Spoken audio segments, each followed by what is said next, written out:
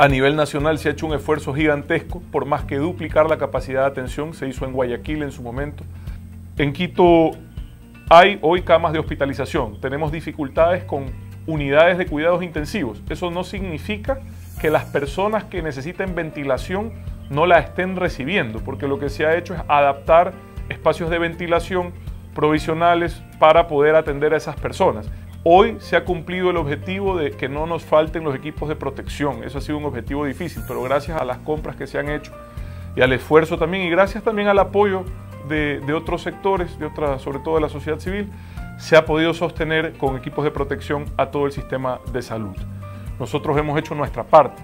Hemos ampliado la capacidad de atención, hemos hecho las brigadas de detección de COVID, hemos ampliado la capacidad de hacer pruebas de PCR, hemos hecho nuestra parte, hemos trabajado duro, no ha sido fácil, pero a los ciudadanos hoy más que nunca, les repito, está en sus manos hacer que esto lo podamos manejar.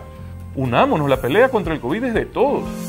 Hoy estamos entregando en mil casas de Guayaquil. Lo que hacemos es llegar a los sectores más vulnerables, a las personas que por el aislamiento no han podido generar ingresos y mientras continúe esto así, en esta situación diferente, tenemos que ayudarlos a que puedan mantenerse en casa. Con algunos sectores se ha llegado a convenios de apoyo, taxismo, artesanos y se les ha entregado directamente a ellos también porque han estado paralizados en su trabajo y la, intención es poderlos ayudar a llevar el pan a la mesa. El gobierno de todos.